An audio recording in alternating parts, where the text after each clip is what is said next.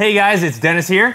And John. And we are, uh, it's, it's Saturday. Like, I, I was like, okay, I was originally gonna do this, we're gonna do a Star Wars Rebels Season 3 trailer uh, reaction review. Yes. I, I, I was like, I, it came out, people were tweeting me, hey, how come you guys don't have a reaction? I was like, oh, it's Saturday, I'll go to the office.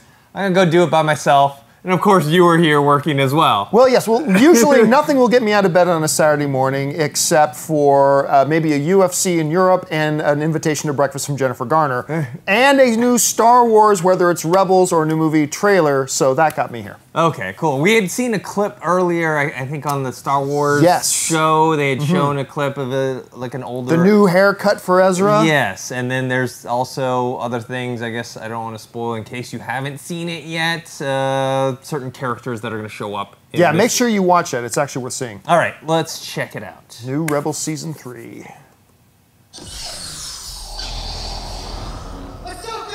Oh, little recall to the last season finale. Battles lead scores. The blind master. New Oh, he's got a beard. Some you can't see. I will His never helmet let collection's getting bigger. get. Oh, that. That's right. The, The- Sith the- artifact. Oh, that's a new move from him. Yeah, he's getting slick. What if there are secrets we can learn He looks from good with the help buzz cut. The Ezra, the secrets in that thing almost destroyed. The beard you. throws me off with Kanan. I'm Imperial cadets of the Skystrike Academy who wish to defect to the rebels. This is Tyke SS25. You can call me Wedge. Ah, it's Wedge. Still can't believe we're here to break this guy out of prison. My friends, Oh, Hondo. Hondo again. Well, we saw him in that clip, He's in so the we knew yeah. We could steal a squadron's worth, They would be All the to Y-wings. Strike fleet. Let's go get him. Everybody ready? He's so much taller and lankier. Yeah. One last glorious day in the Grand Army of the Republic. The old battle droids are back. The Roger Flying Rogers. stormtroopers? What was that? Worse, Mandalorians who serve the Empire. Was that Cal- Agent Kallus? Maybe. Now working with the rebellion? Well, remember he had that thing Yeah. last uh, season where he kind of down. Was that Sabine in her new hair? Yes. so what's in it for you two? Riches untold. That's Oh. the thing. So we'll split the treasure.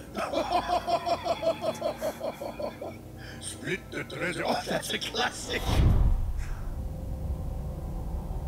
Governor Pryce. Tarkin's These back. rebels have proven particularly stubborn. How do you intend to solve this problem?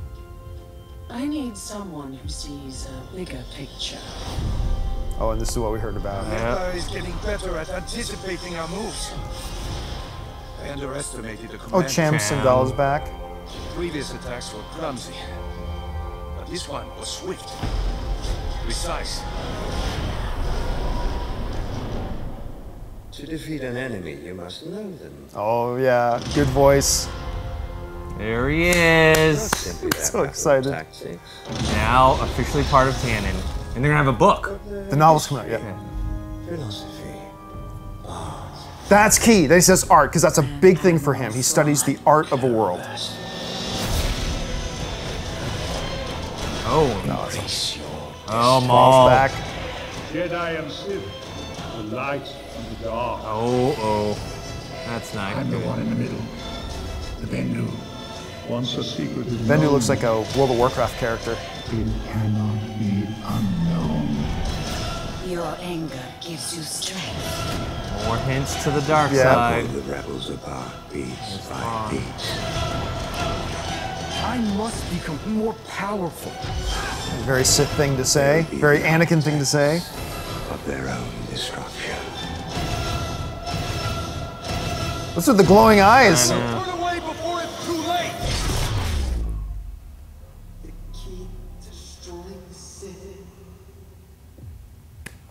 All Nice. Very good. Wow, so much in that three and a half minute Yep. trailer. I mean, there's so many cameos that we see in there. Cham and obviously Thrawn, which you know. Why don't you talk a little bit about Thrawn for people who don't know about him? Well, yeah, like pretty much, if you ask a lot of Star Wars fans who read the novels, the best, for me at least at any rate, the best Star Wars novels ever ever written are now you know, legends. They're not canon, but is the Grand Admiral Thrawn trilogy started with Heir to the Empire, where it was set a little bit after Return of the Jedi, and Thrawn takes over the remnants of the Imperial fleet, and he basically puts the universe on the brink. He, because he's a genius. He's an absolute genius and a statistician. And his main thing is he studies a world's art, and that's how he gets to know how to beat them. It's kind of nuts, but it's amazing. And a lot of us on Jedi Council mm-hmm. and, and Star Wars fans all over the world, we have been crying out to have somehow, some way bring Thrawn into it. And now here he is. He looks perfect. He sounds perfect. He's saying the right things.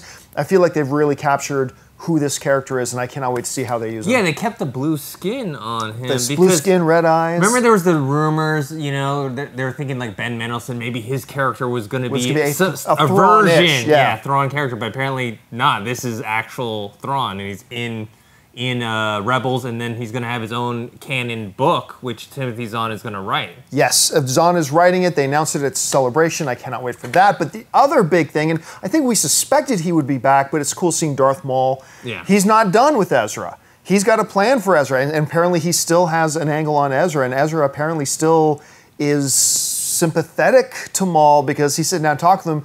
So that was great. Seeing Grand Admiral or uh, Grand Moff Tarkin back is great, and his voice sounds wonderful. More Darth Vader breathing, so you know he's going to be in it. This reminds me a lot of the the pre-season two trailer because they ran one like that uh, at the same time, filled with lots of little glimpses. And if the point of this thing is to get you excited, man, I cannot wait for season three to start. Yeah, yeah. I, the season finale for uh, season two was huge.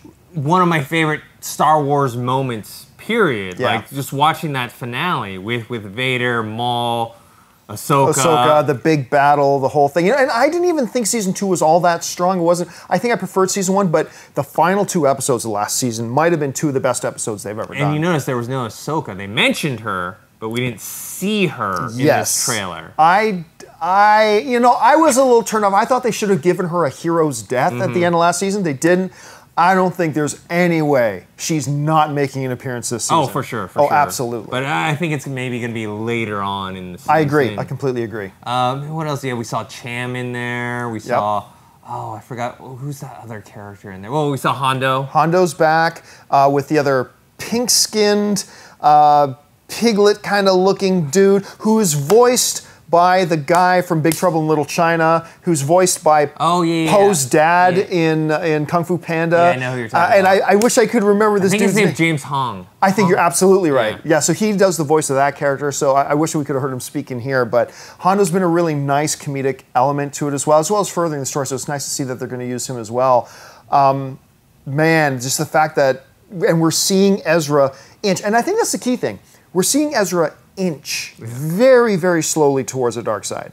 And now we're hearing him say more Anakin like things, more Vader like things. I got a feeling the season finale of three, we might see something very major happen with Ezra. And, and, uh, you know, I know we talk about the prequels, uh, and there is a time constraint with the movies. You, you had Yeah. three movies. But I feel like Ezra's progression to this dark side is much more organic Yes. than what Anakin's was in the prequel. Yeah, like with with Anakin, it was a matter of I'm good, I'm good, I'm good, I'm good. What? Okay, I'm bad, I'm bad, I'm bad, I'm bad. With with Ezra, it's like from the beginning of season one, really, we're seeing it this very, very slow, methodical paced progression to being more and more tempted, giving in a little bit more and more to the dark side. It, it's a matter of it taking a course over seasons as opposed to one single thing happening, and that changes his whole life philosophy. So I really like the way they're handling that. Do you think Kanan is going to get his eyesight back by the end of the season? I I don't think he's getting his eyesight back at Ever. all. I don't think it ever. Um, I could be wrong about I that. mean, we sh- saw that shot of him coming out with the glowing with the glowing eyes, and maybe that's something significant happening where he gets his vision back. I don't know. I'm just taking a wild guess. My wild guess is that where he's done having vision. I think he's now a blind master from here on out. Well, he's got rocking a new beard. It's, it looked good, very Obi Wan esh. Yeah. He can't see himself in the mirror anymore. He doesn't realize, hey, look, I look kind of scruffy. Whatever. I'm not going to Yeah. shave. It hurts. We did not see Hera. I don't remember. Did we see Hera at all in in, I- in the trailer? I believe there was one Me- shot of her in the cockpit talking to somebody, okay, but I think that was brief. it. It was very We brief. saw Sabine quite a bit. Yep. So I never, I, she's probably going to have a significant story arc. Probably getting more in touch with her Mandalorian roots. I'm guessing from the trailer.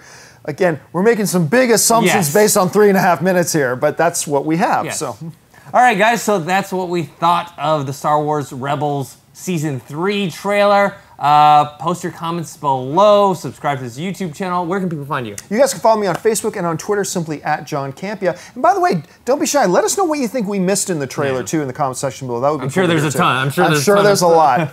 Uh, you can find me on Twitter at ThinkHero or on Instagram, Dennis.tzng, and we'll see you guys next time.